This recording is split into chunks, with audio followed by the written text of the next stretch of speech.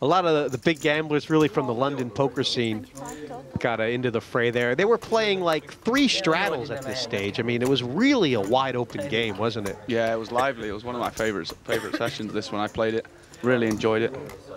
Live action. It's hard to think back, but at that time you were kind of on a, a, a bit of a Uh, not, not, a, not a super deep bankroll at that time. I was broke. You? Yeah, I'll be honest. Yeah, I was did. broke and I got staked into the game, and you know, I think I won like twenty three thousand yeah. pounds, and I was like out, loving life. Yeah, I was so happy. I, I think I saw about eight hundred pounds of that light book, so but I was still out. So. Ten, two, eight. But yeah, so Viffer, you know, the way he was playing, I mean, for him to have aces here is just uh, a huge hand, considering what the way he knows Laak has been playing. and. Eight. Yeah, Viffer's definitely got an unorthodox style. He just bets so fast and big, and a lot of the time he doesn't even give himself time to think. He just reacts to cards as they come off. Question is, do you like this river bet, or he's going to make a big one, Viffer, or is it okay in the scheme of the whole thing about Phil Laak? I think if I played like Seven. Viffer had been playing in this, I think I prefer, an, you know, a big river bet. It's just because a lot of draws missed and, uh, you know, flush draws missed and doesn't ever expect uh, Phil to fold a 10.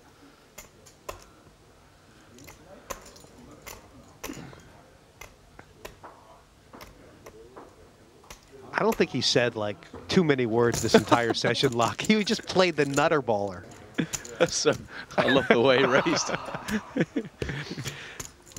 but uh, he actually played this hand quite well. I think he makes the pass here. He, I think he played it well. I, I don't mind the bet, bet, oh, bet. I played so bad. You know, because the way Viffer plays, he's bluffing a lot and he's in every pot. So you've got to like value bet thin when you play like that.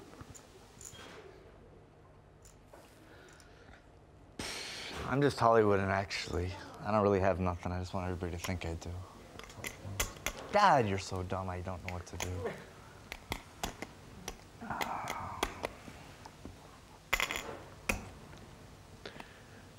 There's Roberto Romanello in the background on the phone. Seven Biggest pot he's seen in a while. He get in this game as well. Gonna hurt no matter what. yeah. This is like a no-win situation here.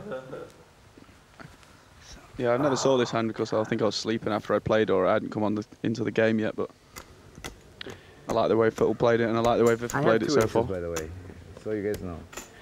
Viffer goes on to win over 100,000 pounds in this game, and this is probably one of the reasons why that he can make the laydown. Wow. Yeah. Oh, it's a good fold. Near people in the background shouting good fold, but don't know how they know. Channing will tell him it's a bad fold, but Channing just taking the needle. Yeah, Channing's always trying to unrile everybody at the table.